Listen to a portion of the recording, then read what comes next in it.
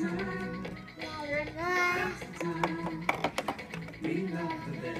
are you going to sing a song?